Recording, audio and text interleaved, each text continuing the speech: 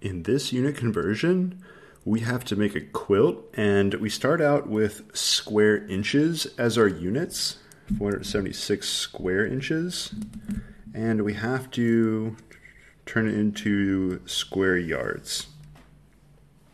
So we have two different types of fabric, uh, and then the sum of them added together will be right here. So let's just do the uh, orange fabric. So we have 476. These are square inches. So you could write it as inches squared, or you could write it as inches times inches, which would be square inches. And we have to turn inches into yards. And so you probably know that 36 inches equals one yard, which is three feet. 12 inches in a foot, so 3 times 12 is, gets you that 36 inches in one yard.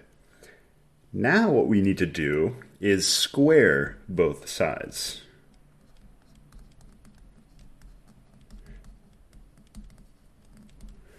So I'm going to wrap this up. We're squaring both sides. So on the left side, you have 36 squared inches squared equals 1 squared yard squared. Now, of course, 1 squared is 1, so it's just 1 yard squared. On the left, 36 squared, we could get the calculator out. In fact, I need to get the calculator out. So we're going to do 36 times 36 and see what that is. I would not have guessed that.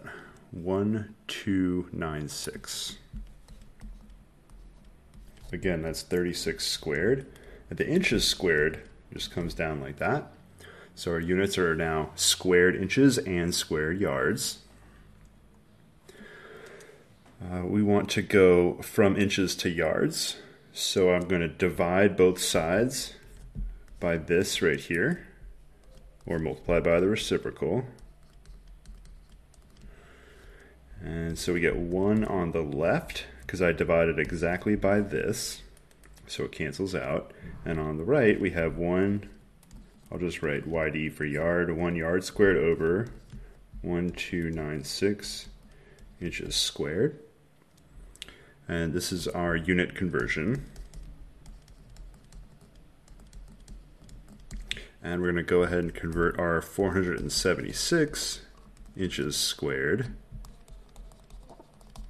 We're going to multiply it by, now we're multiplying it by 1, so it's not going to change it, but the version of 1 we're going to use is 1 square yard over 1296 squared inches. So why are we doing this? Because our inches squared, inches squared cancels out. Uh, 476 times 1, the 1 doesn't matter, so you multiply by 1, it's going to be the same thing. So it's just 476 divided by 1296. And what is left, we just have the yards squared. Now, WebWork will probably take this answer, but what we're going to do is just take 476 and divide it by 1296. It's clearly less than 1. And we get point three six seven something something. Uh, nearest quarter yard. Okay, so we better go ahead and round this. So we're going to round that to quarter yard. So it would be either 0.25 or uh, 0.5. What's it closer to?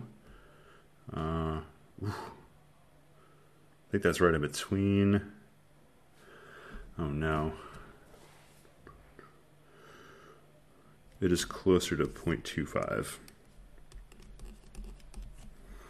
All right, and now we'll do the, oh, no.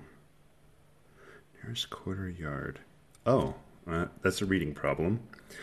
Okay, so rounding answers up to the nearest quarter yard. So that would be rounding down. So we're definitely just going to go to uh, 0.5. Yes, we should read questions. That's very important Obviously, if you're going to make something, you can't buy less, so you have to round up, not down, and just make something smaller. Okay, gray fabric, you're going to do the same thing. Make sure you round up. And then the sum is going to be the sum of the rounded versions right down there.